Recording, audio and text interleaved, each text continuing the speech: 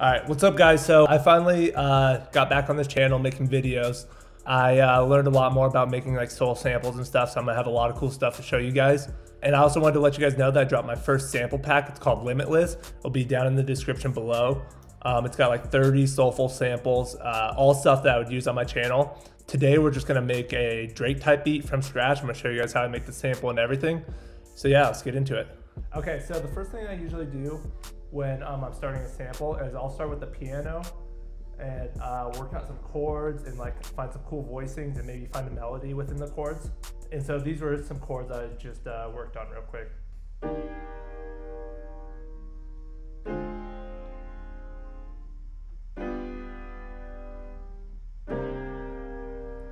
They kind of have like that like soulful like R&B kind of Drake type feel. So the way I'll do it is I'll record it into um, the software.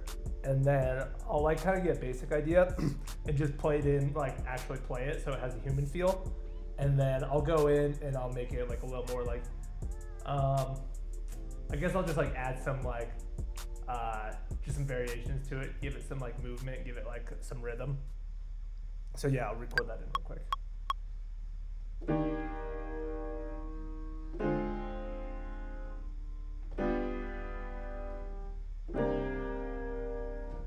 now that I got uh, those chords recorded, I went in and I kind of edited it in the MIDI and created this little like progression. Um, I used like a lot of the stuff with like um, like these gospel sounding like Drake chord progressions.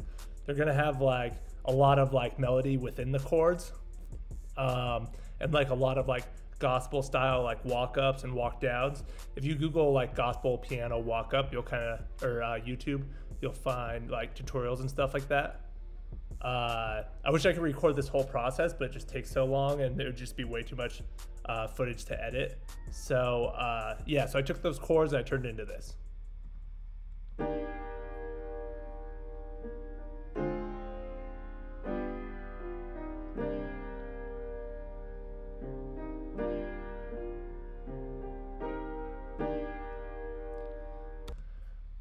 And so now, uh, next I think I'm gonna add a string melody on top.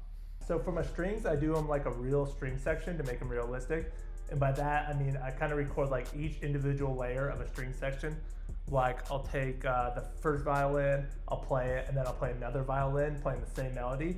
But when you play it like that, like different, like you don't play them perfectly and they don't hit at the same time, and that makes it sound realistic.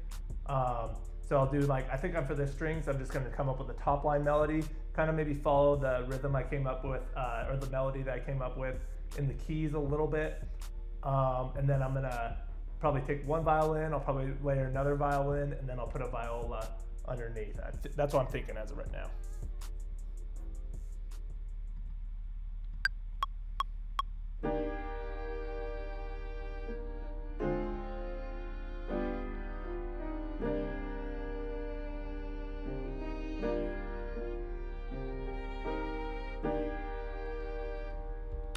Okay, and when I play that, like that's obviously not like the best playing in the world, but um, I'll just go in in MIDI and I'll take the grid off and I'll edit it all, and um, yeah, I'll make it sound uh, realistic but still like on time.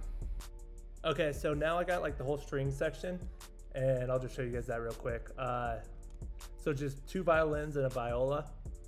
Um, I don't know if I pronounced that right, but uh, and yeah, like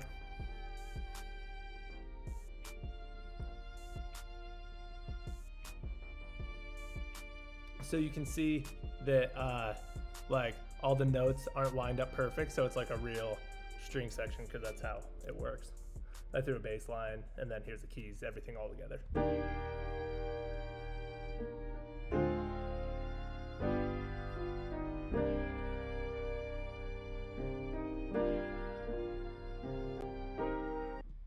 Okay, so uh, next thing I'm gonna add for like a Drake type sample is uh, I'm gonna add a uh, organ here. I think that kind of makes it sound like a little more like churchy. Um, so yeah, I'm gonna record that in. Uh, right. Yep.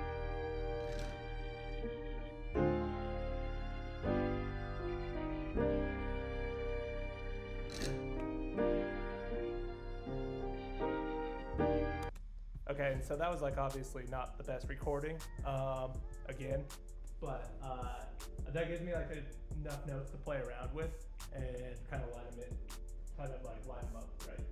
Okay, so now at this point in the sample, I pretty much got like an idea laid out uh, that I think is ready to flip.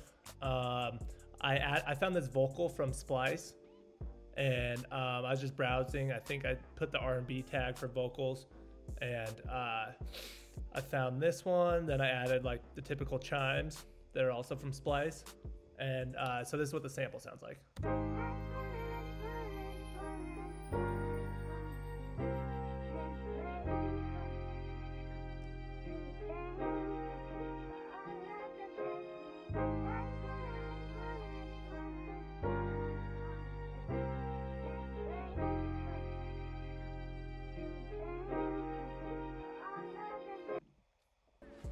Okay, so um, I finished uh, the sample, added one piece. Uh, I added a part with a bass line over here and without a bass line over here.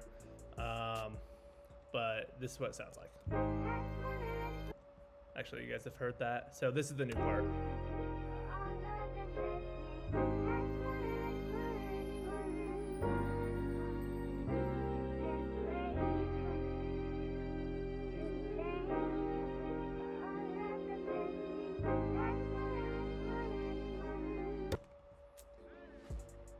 And uh, yeah, so that's a plugin um, called East West Vocals, and uh, it's just like a fake choir.